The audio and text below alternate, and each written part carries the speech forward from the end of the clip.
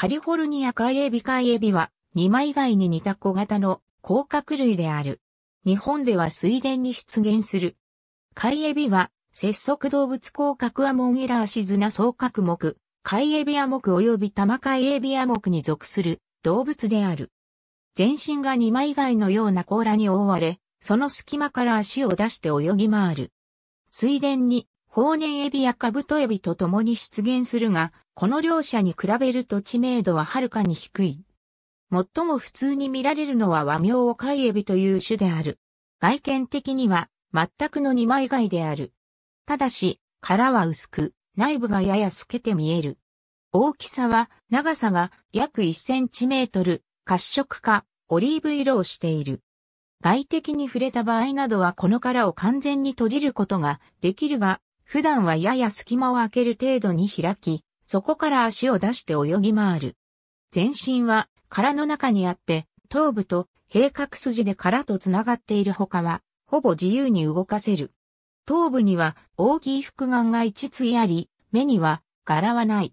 口は仮面後方の胸の側にある。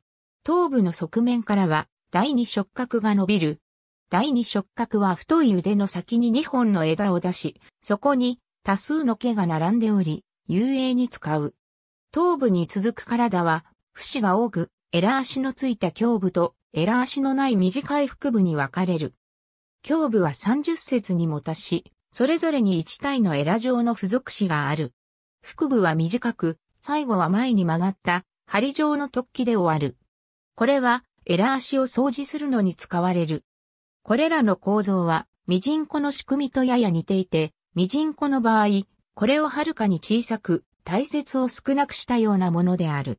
雌雄はよく似た姿をしていて、外見での区別は難しい。時折一頭の腹部に頭部を付着させた姿で、二頭が繋がって泳いでいるのを見かける。卵は殻の中、背中側に固めて保護される。水田に多く出現する。大抵は、カブトエビホネエビと共に出現する。種として一時的な水たまりに出現する。世界的には約200種が知られている。日本では7種ほどが知られる。場合によっては同一の水田に混在している。最も普通種である貝エビによく似て、やや小型のものにトゲ貝エビがある。正確には頭部を見なければならない。貝エビは背中の蝶外部が長く、そのため背中側が平坦になっている。これに対して背中側が丸く弓なりになっているのが姫貝エビ類で貝エビよりやや殻が薄い。玉貝エビは甲羅がほぼ球形に近いほど丸い形の貝エビで他の貝エビ類とは異なり頭部が殻から出ている。玉貝エビアモクという別のアモクに分類されている。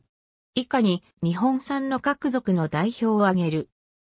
大塚治虫、小井智之、広角アモン分類表、節足動物の多様性と系統、石川良介編、岩月国夫、真渡俊介監修、小化房、2008年、421から422ページ、吉岡翼、小野村和人、大和臼姫海エビの島根県地層沼からの記録、キャンサー第26号、日本甲殻類、学会、2017年、13から15ページ、土井、10.18988、キャンサー、26.013、ネイド1300億610万7992。